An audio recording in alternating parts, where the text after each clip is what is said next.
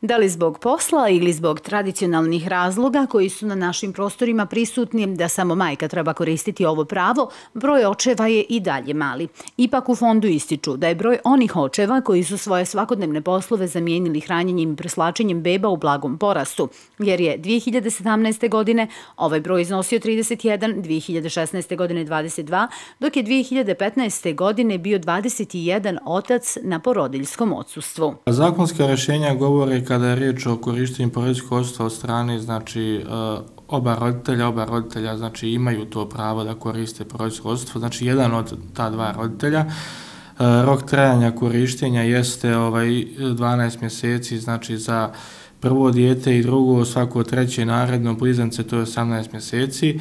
Znači, mogu e, očevi da koriste porodičko ostvo, koliko to ne koristi majka, znači to je stvar njihovog internog dogovora.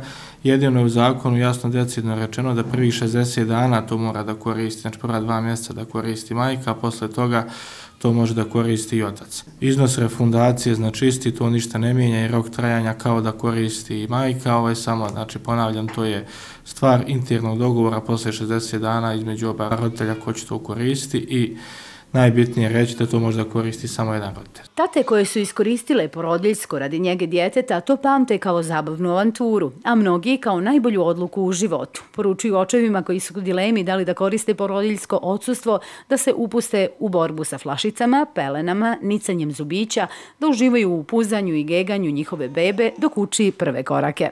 Pošto je moja supruga počela da radi, ovaj, ja sam morao da ostanem kod ja čuvam djecu. E, koje vam je to dijete? Drugo dijete. Za prvo supruga nije radila, za drugo je počela raditi ovaj, negdje u septembru. Ja sam iskoristio tri po mjeseca porodinskog, tako da bilo je lijepo. U početku ono, niko nije vjerovao da ću ja da, da odim na to porodinsko na poslu. E, malo su se smijali kolege, ali na kraju su skontali da je to stvarno dobro i preporučujem opet svakom da ode na to porodinsko ako ima priliku. Kako je bilo provoditi cijeli dan sa djecom? Da li sad razumijete suprugu ono, kad se vratite kuće, ona umorna i nervozna? Ja e, razumijem je u potpunosti, jer jako je teško, posebno za nas muškarce, ovaj, da ostane sa, sa dvoje djece čitav dan, prvo, ovo djete je jako malo bilo, e, treba presvući, ne, ne zna da traži da jede, tako da morate sve vi da mislite o svemu dok ona ne dođe sa posla. Znači, bez razmišljanja biste i, ako bude treće dijete, koristili ponovo? E, pa, bez razmišljanja. Baš smo pričali, ja i supruga o tome, znači, u slučaju da bude treće dijete, ovaj, ona deset mjeseci, ja osam. Ovakva praksa kod nas je još uvijek rijetkost i tate se rijetko odlučuju da na sebe preuzmu brigu o bebi. Međutim, u pojedinim zemljama se odsustvo oca radi njege djeteta čak upisuje u biografiju i uvažava kao prednost kada se traži neki drugi posao. Smatra se da je muškarac koji provede više od 60 dana sam sa djetetom idealan kandidat za rad pod pritiskom i stresom.